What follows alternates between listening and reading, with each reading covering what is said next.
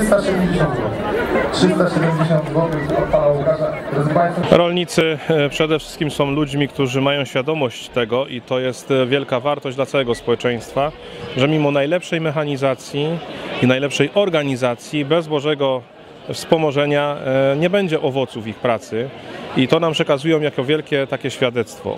Liczą też na kapłanów, na biskupa, że w tej ich pracy będziemy ich wspomagać właśnie też modlitwą, Nasze rolnictwo ma przede wszystkim e, bardzo, bardzo zakorzenioną tradycję. Jest dużo gospodarstw, które zostały dziedziczone z pokolenia na pokolenie i tam też e, była taka edukacja nieformalna, właśnie szacunku do pracy, szacunku do sąsiada, pomocy sąsiadowi bezinteresownej. Później oczywiście też po wojnie przyjechali ludzie ze wschodu, którzy też tą pomoc mam nadzieję, że otrzymywali i pewnie tak było, że właśnie to, dlatego to województwo się tak dobrze zintegrowało, bo był szacunek do tego, co się posiada, czyli szacunek, szacunek do ziemi. Dzisiejsza nagroda nas bardzo zaskoczyła, dlatego że w tamtym roku też zdobyłyśmy pierwsze miejsce i nie liczyłyśmy, że zdobędziemy znowu.